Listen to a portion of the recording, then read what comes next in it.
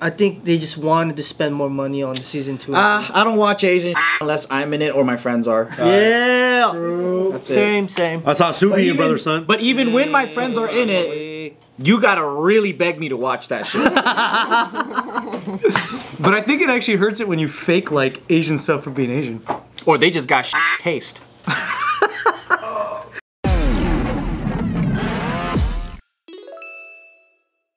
What is something that you are you swear people are pretending they like it and they don't actually like it? Mmm, liberal views. yeah, probably. Yeah. You think they're you think they're just pretending? Because they ain't really about it. Oh. It's easier to say. Are say. you inviting homeless people into your house? yeah, yeah. Yeah, you don't care that much. you want other people to deal with it for you. Yeah, you. are you inviting illegal immigrants into your house? and shit? You know what I mean? Like that kind of shit. Yeah, that's so annoying. Okay. Like, are you actually living by your words, or are you uh, just Yeah. like it's nice to say you believe in? Because it's very hard to live by your words, especially Yeah. if you're pointing your finger, wagging at people. You know. Plastic straws. This drives me Bro, crazy. or paper straws. Paper straws. When you when you hand me a cup that's pl- completely plastic, and then I get one little paper straw, oh, and so the entire product is like 95% plastic and 5%. And now your coffee tastes like a cardboard box. Or your f***ing straw melts in your mouth. Yeah, yeah, yeah. It starts deteriorating. Or not Like destroying the straw. environment, dude. No. Do you think there's have you met anybody that's pretending to like the paper straw? Yes. Really? What do they And then- say? Or because there's a next level to it. It's the people who bring their own like straw in their bag, like the metal ones and stuff like that. Mm. I keep a bag of plastic straws, so when they give me that shit, I pull mine out and I open it in front of them and I use it. You know what you should do? Take the paper straw they gave you, ball it up, put it in your plastic one, and go. no, you know what's cool though? The the happy medium, bamboo. I would say that's, That's the happy medium. well, it's because it's environmental and all that. I'm assuming it's compositable. It's compositable. Cat turtles still get stuck on those motherfuckers. Yeah, dog. but it's made out of bamboo. Molasses That's, it's, straw. it, that's what it looks like to me, but it's not made out of molasses. It's like this. Um, What the heck? I don't know what material it is, but it's not. Yeah, it's not. It's not paper. It's definitely not plastic, but At this rate, we might as well just like increase our suckability from a distance. yeah. But that it just drives me crazy. Make a water spout going up. Do you guys really think, you know, stopping plastic straws is actually gonna do something? Like, do people really believe? No, it's, you- a, it's another virtue signaling. We're pretending to fix the problem with these The, straws. the, e- the ego inflation that these people got that the world actually made a change is pretty fucking big. You know what I mean? Like the original people that said that we shouldn't use plastic and they actually conformed. That bragging right, honestly, you gotta admit, it's pretty strong. Yeah. If you were the one who first said that. Oh. Like the world changed for your pissed offness. It's the perfect time. just walking down the street looking at everybody. And now everyone is having issues with their paper straws. Is there a food you think people pretend to like and they don't actually? Fine dining. Oh, okay, yeah. When people claim they are like a massive foodie, right? Yeah. And then they go to these places, they burn money. And they're starving. Yeah, but in reality, I don't think a foodie does that. Like a, a foodie is someone who really does everything. And they like the highs and the lows and everything. Yeah, that's Yeah. true. They probably have a more uh, ex- expansive You palate. don't yeah, that to me is more like it's kind of snobbery. Hmm. It's just you're just doing that thing cuz it's high, it's high, it's high level shit. Hmm. Like it's expensive and it's almost like someone that's like buying all like luxury goods, right? But then like the real real luxury is like the shit that you got to get invite only that normie normies can't even get, but like we don't even know the name of the brand cuz it's too like billionaire level. But then like you know, that's kind of I kind of see it as like you're trying to be pretentious and rich, but you're really not that rich. Yeah, I guess I guess the class connotation is what they're really like. Yeah, yeah, they're like they want to be associated with that world. But like I'm like you ain't a foodie, dude. That's true. There is that. Uh, is there a is there a martial art people pretend to like they don't actually like it? Oh, dude. Fucking I. No, you know what though? I just feel like for martial arts is different because I feel like you can a lot of people convince themselves of doing it you know, for whatever reason. Like for instance, like kung fu, right? It's like I'm sure there's people that are doing it not they think it's like for self defense maybe, but in reality it's like yeah they fucking like it. We may all think it's outdated, but in reality it's like that's what they like to do. It's not gonna work. It's guys with ponytails. It's always guys with ponytails doing kung fu or like aikido, and they're trying to challenge people and shit. You know. Yep. But I think it's just in their mind. It's like, yeah, this is my shit. This is what I like to do. Fat guys in ponytails love ninjutsu. They love that shit because it is the cool. Like on paper, it does sound the coolest. and it's one of the ones that you can lie about how good you are, but you just can't show anyone because it's ninja shit. It's like, sorry, I only show people in the shroud in this darkness. No, It's I'm, always. I'm gonna say this. always. Go. Pizza Hut. Pizza. You think people are faking that they lie? I love that shit. Mm-hmm. Wait, look at this. Look, look at this. Wait, pizza or Pizza Hut? Pizza Hut. Pizza Hut. Why are you taking a fucking smoke break in the middle of that? Pizza Hut Pizza Hut. is fucking bomb, dude. I used to work for them.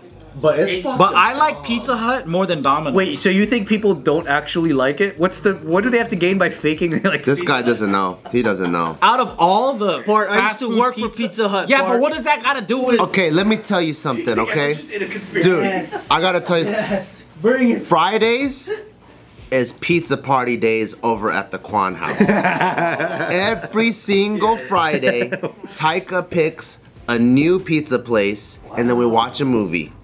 We went through all of them. Domino's, Pizza Hut, Pizza Rock's the best. Papa John, and Mom and Chop, some mom and pop ones. Out of the chain, Pizza Hut is hands down the best. Yeah, hands down. Yeah. I haven't had Pizza Hut in a really long time. Well, You can eat it like authentic Yeah. pizza places too? Oh no, no, I mean like I just just chains, just chains. Okay, I was like, So you think you think you think he's faking? I didn't get round table. No, I don't think he's fair. I think he's, I think he's serious right now. You gotta get the pan or the deep dish. Yeah, the original pan. Oh, and then it's like a crispy on the outside. It's like a blanket in the middle. And you said and you said uh, Taika's favorite also is Pizza Hut. That motherfucker tripping. He likes Papa John's. That shit's soggy as fuck. But then maybe do you think a, do you think a part of why you like Pizza Hut's the nostalgia? no, no, honestly, I think why he likes Papa John's is just the name. Because every time he hears the word Papa John's, he starts laughing. He's like, I want Papa John's. And I'm like, Papa John's tastes like shit. And he goes, Nah, Papa John's. And like, you get the pizza and the bread's wet. Like it's gonna fall apart and shit. I'm like, Yeah, it's like a wet burrito. That's the best part. It's hands down, Pizza Hut is the best out of the chains. Maybe maybe that's why he thinks it's so funny to go. Ooh, come to Papa. Or any pizza that's like a New York pizza he fucking loves. It's- if Oh, it says- uh, Teenage Mutant Ninja Yeah, if it says like Rocco's New York, Oh, oh, this is my favorite. oh, this is the good stuff. I'm like, I don't even know Rocco's from New York, dude. It just says New York pizza. Yo, man, we gotta give him some Detroit pizza. That's the shit right there. Is it? Why? Detroit style is my favorite. How come? Because it's like Pizza Hut style. It's like Yeah, it's a crispy on the outside, mm. and inside it's like a fluffy, warm blanket out of a dryer. Damn. If you ate a Pizza Hut in Detroit, you'd probably come your brains out. Detroit. What else? Uh, what else? Salt are some things? I think people pretend to Hot like take. Hot oh, take. Hey, that's fucking. Hey, hey, that's funny Salt as fuck, straw? dude. That's really funny. Salt and I, not that good. I, I, I believe that. that. Like who's getting lavender fucking like blue? Yeah, cheese. well, yeah. Oh, who's this gonna- is so sounds good. delicious. It's like, yeah, all right, bitch. I've had Rocky Road.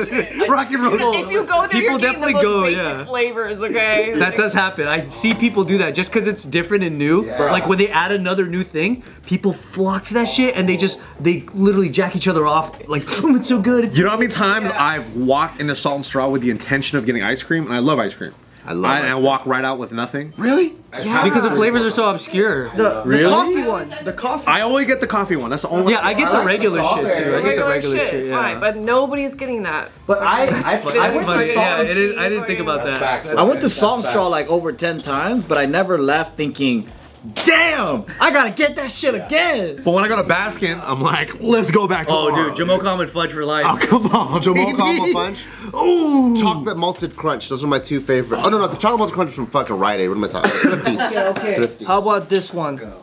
Who's favorite? Erewhon.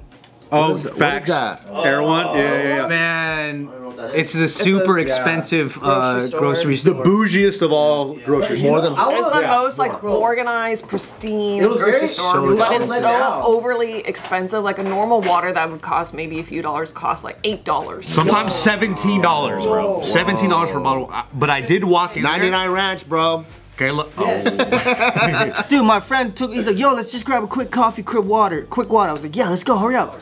We go to Erewhon. I was like, I had no idea what the fuck this was. I was like, there's hella people outside though. I was like, yo, what is this place? Anyways, water, coffee, bottled water, coffee. Come out twenty-one dollars and eighty-five cents. I'm like, whoa, Yeah. the fuck?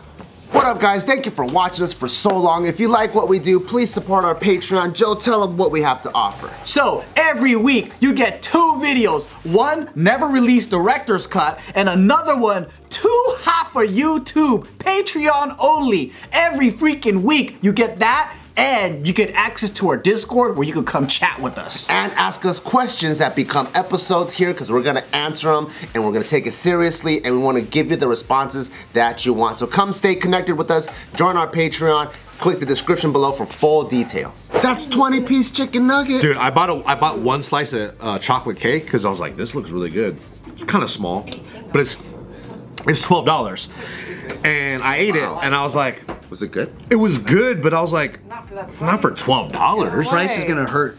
you know. But it's just little things like that. But they did have the chopped fruit, the cut fruit, and I usually get that whenever I go to a supermarket. Let me tell you how pretty their shit was, dude. Like not a bruise on any of their fruits. I don't know how they Cut do fruit it. is usually more expensive regardless. Bro, it's so super Erewhon expensive. there, I'm sure is that's But it wa- how much was- did you spend on cut fruit? I didn't buy none. Don't hype them up. I had their. But nah, that shit was fire though. I'll, I'll say I'll give them that. I'll give them that. There was like a, you know how they make the smoothies? Yeah. But they had this like mango lassi kind of smoothie, but it was like in those glass old school milk jugs. Yeah, those are So tight. you felt like it's it's expensive because it's in glass. Right. It was really Did it delicious. taste expensive? Their juices are pretty fire. I Man. like mango lassi. Their juices. You are- know, you know who I think is faking the shit out of things they like? What? Sneakerheads. Mm. Oh, I think agree. as sneakers get so much more expensive, like up the chain, they get so fucking ugly. Yeah. But like, I think they're prone to saying they like it because someone they look up to likes it. Yes. Mm. And it's so trendy. I don't think it's about the actual appearance of the sneaker at a point. I think the hype. It's the hype, yeah. Which of course that's common sense, but I think some dudes are really that fucking faking it like super hard. Oh. You wanna hear a hot take? I think people that are faking it is the body positivity people. facts. Yeah. They're like this, ah. right? You go, I love myself the way I am. But then if there's a magical genie that was like, hey, I'll give you whatever body you want, name any celebrity, they won't go, just keep me the way I am. They will, right off the top of their head, they're gonna go, I wanna look like this. This is what I wanna look like for my wedding. But that's why they get mad at people like Adele when she loses weight. Right, because that was their like Yeah. fucking. And they're like, what the fuck is wrong with you? It's like, how are you gonna get mad at- at somebody for I think yeah, I I also believe that it's fake because I think they just figured out like a, the greatest coping mechanism for it. Yeah. It. But they don't really want to be that. Well, no, I mean like, if you like, if you did have the choice to instantly not be that, we would not be a lot of things we are. Yeah. yeah You know what I mean? That's true. But it doesn't mean we don't love ourselves. It just means That's like, hey, would you like to be stronger? I'd be like, without the workout? Fuck yeah. Like I'm not gonna reincarnate and, and hope to God I can keep my psoriasis. that doesn't. Please, that doesn't. Endo, stay with me. That doesn't mean I hate myself. yeah. You know what I mean? That's the part that I'm like, gives me my it's identity. okay, yeah. That's who I am. I don't want no body positivity about my fucking eczema. You can love yourself still and then be like, hey, this is me, man. But not want it, yeah. people who use nose strips, I think they're fucking faking it. I completely forgot we still had these on. They feel good. no, they're, they're fucking sick. Nah, I thought. Industry jobs. what you mean by that? movie industries. I feel like half the people that's doing the job, that's gaffers, grips, PAs. You think I they hate their jobs? I think they really hate their job because they failed at being actors or. Oh, those are specific ones though. Oh yeah. yeah, yeah, like being uh, actors and PAs, but they're just like, you know what? I had more opportunity and more money doing gaffing, PAing. I ended up just being stuck to it, which I've experienced it now. They're bitter. But they're bitter when they see people doing what they really love. They just they. Oh, just, that must be torture. You're like holding a fucking stick like that, and you're like, I could out act yeah, this or motherfucker yeah, right yeah, now. exactly. Or sound. They're Yeah, just like, they're like holding the boom and shit. And they're like, that's not even his line. He didn't memorize his lines and shit. Right, right. Let me get a shot. Oh. He records himself. I think uh, that's a lot of people that run casting. Yes. Casting directors? that's- Not the directors. The Just the person that's running the casting. Yeah. So the person that's hired to sit there with the camera while you go, the director's not there. a lot of the time those are people that are trying to make it and it, it's not that that good for them. Yeah. And they'd be talking like they know what to Because my ex used to do that, and she was exactly that. Oh. yeah, and ev- all of her coworkers were failed actresses, and they were all like, "That's why they're so like mean to people." Industry people that don't like their jobs. Mm-hmm. That's why they complain a lot. That had to You know also kind of, oh man, the um, what's it called? Fucking wardrobe people. I think they're, uh, you know what, and we, this is particularly what I think they specifically fake. They constantly fake how hard their job is. I think they try to like complain about so much shit to make their job look harder than it is. Mm. Mm. Wardrobe in the movies? Yeah. Movies or TV or anything. Like someone who's in the wardrobe, it's very rare that you will meet a wardrobe lady that's not stressing out visibly. Oh, dude. Like they want you to like Kinda, see their yeah. stress and they want to complete. They're always frantic. Yeah, and it's like this shit isn't harder than what everyone else is doing. We're all like in I in think it it would together. depend yeah. on like the type of movie, because I think if you're in a time period Oh, or like you're no, trying to find something very specific, I would and, hope like, that's where it I is. feel right. But no, it's ABDC. Right, right, right. exactly. And they just Oh my god. find- oh. Yeah, it's like They have to cover a logo and they're right.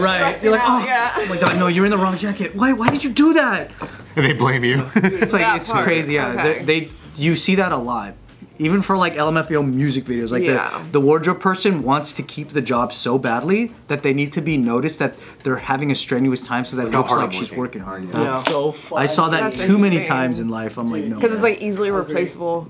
yeah, like Or for- a for lot of something like jobs. that, for a lot of jobs yeah. on set are, and that's why when someone solves a problem, they want everyone to know that they solved it, even if they did it quietly in the in the corner.